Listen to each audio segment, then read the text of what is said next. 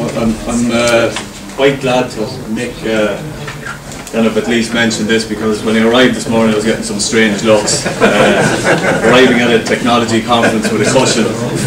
Uh, the, the fact that it looks nothing like technology is actually uh, one of its main uh, design goals because it was designed to work in elderly homes and of course laptop computers and so on were not designed for, for elderly uh, um, participants or elderly people. So uh, on TRIL, luckily we have a, a strong uh, usability design team that can uh, take uh, a Shimmer from being, you know, this to this. And uh, so the, the device itself is biofeedback uh, device that gives useful real-time non-invasive uh, measure of alertness. Uh, you probably already guessed it anyway, it's, uh, it's got a Shimmer uh, GSR sensor as the, the brains of the device. simple LCD, data storage to the micro SD card, so you're not worried about having broadband, any connectivity, the data is uh, kind of stored on the uh, on the Shimmer itself using the uh, micro SD card.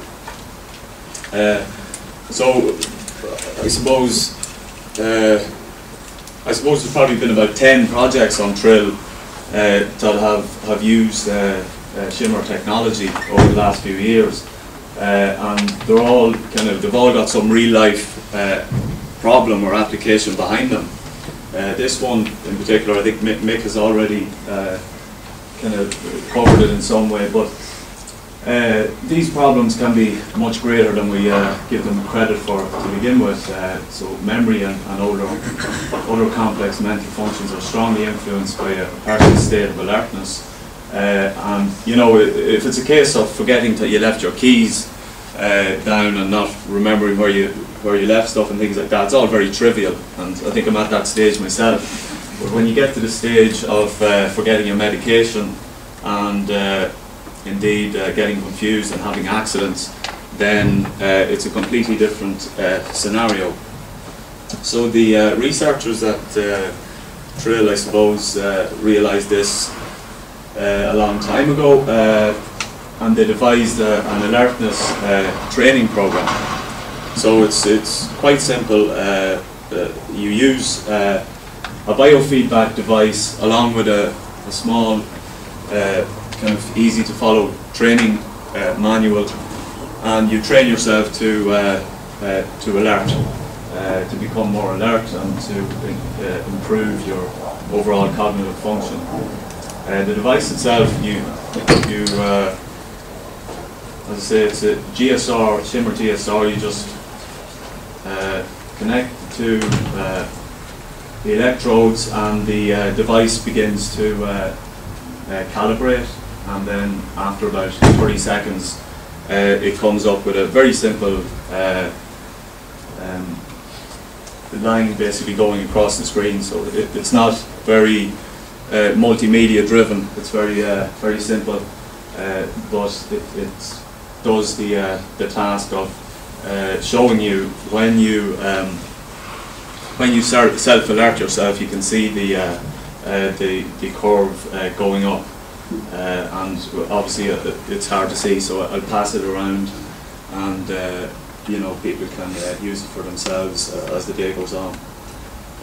so the the technology requirement was for a biofeedback device of electrodermal activity. That was uh, our technology requirement for, for this uh, device. Actually, the previous uh, generation of this, which is about three years, two, two years, maybe three years back, was a laptop computer and an off-the-shelf GSR device. So this is prior to uh, using Shimmer. And it actually, uh, uh, even though it seemed like a feasible um, you know, technology deployment, it was very unreliable. The, the users, maybe 50% of them, did not use a, a laptop computer before, uh, touch pads, using the mice, even uh, certain things like that. Uh, and then the technology itself being uh, being unreliable was, uh, you know, it, it, made the uh, project unfeasible. So Uh, this was this was the result of uh, going back to uh, to the, the drawing board and coming up with the uh, the full kit. So the the uh, uh, the deployment involves the, the cushion and the manual, and it uh, has been deployed in uh, I think 30 homes, I think so far, um, and everyone will have one by Christmas. uh, so there's the uh, one of the participants. There's a, a, a nice. Uh, a nice uh, uh, paper, I suppose you could call it, on the, the TRIL Centre website that kind of goes through the the design life cycle for, for the device. It's very very worthwhile having a look at.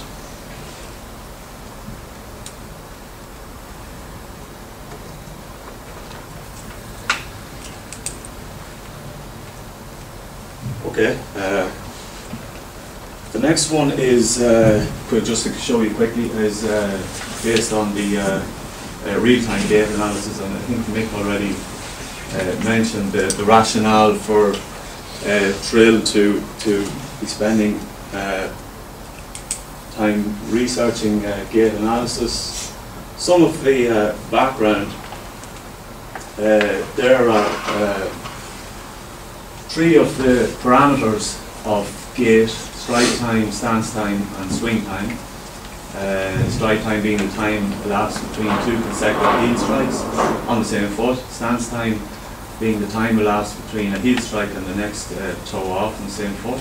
And the swing time being the time elapsed between the toe off and the heel strike of the same foot. So these are some of the uh, uh, parameters of gait that we can uh, look at using Shimmer. So the scenario I've got here is that's the uh, right leg. So I'm just going to pop that in my sock. And this one is the left leg. Pop that in my sock. Yeah, these are. Pardon? Should point out that there, it's gyrable. Well, this is gyro data you're looking at on the screen, and this and these uh, results are generated from from the gyro uh, board. So, if I want to uh, do a quick walk, so it's recording. So if I just walk over. Back.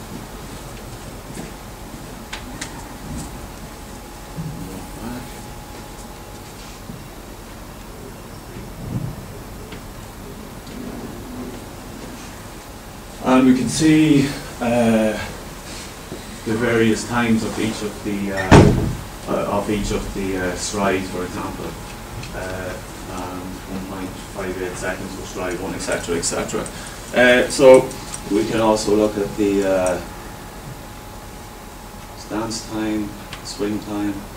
So it, it calculates these uh, uh, gait parameters, and then, of course, uh, you know, with the, the, the large TRIL cohort of data, uh, some very meaningful uh, uh, results can be can be uh, taken from from this, uh, and that's just uh, uh, showing the uh, timestamp and showing that everything works okay. That's it.